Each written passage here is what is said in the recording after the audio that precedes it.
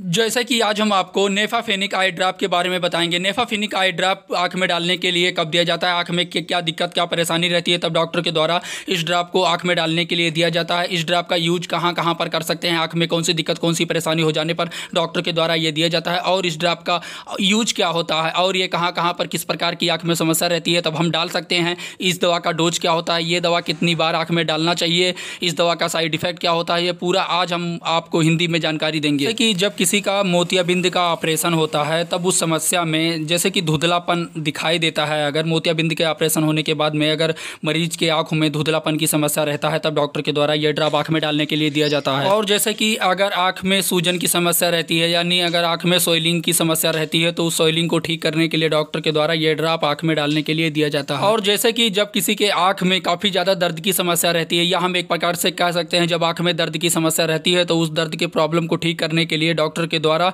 ये ड्राप आँख में डालने के लिए दिया जाता है। और जैसे कि आँखों के लेंस को भी ये साफ़ करने का काम करता है, ये आई ड्राप। और जैसे कि आई बल्ब के ऊपरी सतह को ये साफ़ करता है, यानी उसे ठीक करता है। जैसे कि ये ड्रॉप एक दर्द निवारक आई ड्राफ होता है। मोतियाबिंद के सर्जरी से जुड़े सूजन और दर्द को ठीक करने के लिए डॉक्टर के द्वारा ये ड्राप आँख में डालने के लिए दिया जाता है। मोतियाबिंद के ऑपरेशन के होने के बाद में जैसे कि आँखों में सूजन की समस्या होना, आँखों में दर्द का प्रॉब्लम रहना और इन सारी समस्याओं में डॉक्टर के द्वारा ये डालने के लिए दिया जाता है। जैसे कि अब हम आपको इस दवा के डोज के बारे में बताने जा रहे हैं, इस आई ड्राप के। इस आई ड्राप को मोतियाबिंद के ऑपरेशन होने के बाद में ये ड्राप दिन में तीन बार डालने के लिए डॉक्टर के द्वारा दिया जाता है। जैसे कि आँख लाल होना, आँख में सूजन की समस्या रहना, आँख में दर्द की समस्या रहना तो ये सारे प्रॉब्लम को ये ठीक करता है। चलिए, अब हम आपको इस आई ड्राप के साइड इफ़ेक्ट के बारे में बताते हैं। इस आई ड्राप को आँख में डालने के बाद में क्या क्या साइड इफ़ेक्ट देखने को मिलता है? जैसे कि आँखों में जलन होना, आँखों में सूखापन आना, चिपचिपी